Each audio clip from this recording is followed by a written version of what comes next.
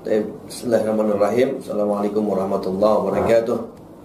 Jadi untuk menjawab maraknya deklarasi FPI di berbagai macam daerah, ini menunjukkan beberapa hal. Yang pertama, menunjukkan panjang umurnya perjuangan umat Islam di Indonesia. Jadi artinya walaupun FPI lama telah tiada, tapi giros semangat perjuangan umat Islam di Indonesia masih bergelora sehingga mereka e, mendeklarasikan FPI yang baru. Kemudian yang kedua, maraknya deklarasi FPI di berbagai daerah ini menunjukkan bahwa FPI diterima oleh masyarakat dan diterima oleh semua lapisan masyarakat, masyarakat dan ini uh, satu hal yang luar biasa sekali uh, karena FPI tidak hanya fokus kepada hal-hal yang berkaitan dengan keagamaan tapi FPI juga berkaitan dengan hal-hal sosial. Ya, jelas. Jadi untuk masalah perbedaan FPI yang baru dan FPI yang lama, ini ada beberapa perbedaan. Yang pertama, eh, yang paling menonjol adalah dari segi visi misinya. FPI saat ini bernama Front Persaudaraan Islam sebagaimana dengan sesuai dengan namanya persaudaraan ini menunjukkan FPI ini mengedepankan ukhuwah dan persatuan dan yang lebih menonjolnya lagi berbeda dalam strategi perjuangan. Yang pertama FPI memiliki uh, visi misi yaitu bela agama dan negara, kemudian dakwah dan pendidikan, kemudian penegakan hukum dan HAM, kemanusiaan dan penanggulan bencana, dan pengembangan media yang jujur dan amanah. Walaupun memang kita tetap dalam bingkai amar ma'ruf nahi munkar tidak menghilangkan itu sebagai simbol perjuangan dari FPI yang baru ini.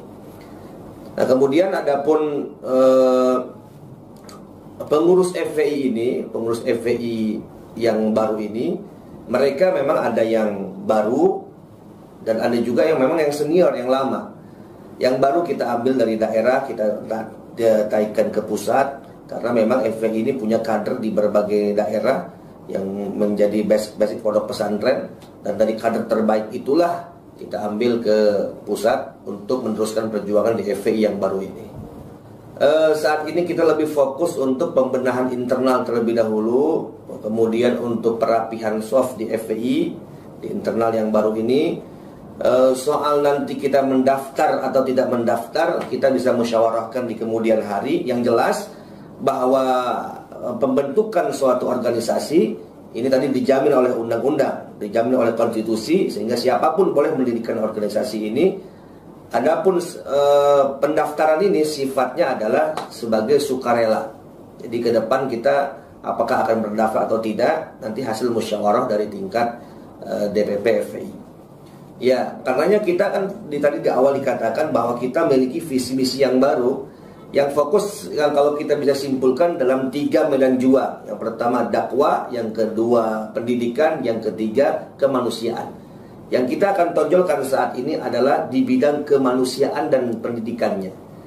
Uh, sehingga uh, yang dulunya FPI memang selalu kental kaitannya dengan nahi munkar, nah kita akan fokus di bidang kemanusiaan.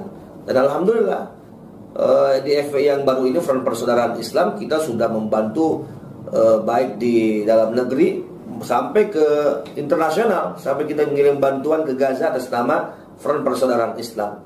Jadi ruh perjuangan ini uh, tidak mati. Kita akan terus berjuang uh, sesuai dengan kadar kemampuan kita dan sesuai dengan tupoksi kerja di FPI yang baru sesuai dengan ADART di FPI yang baru ini.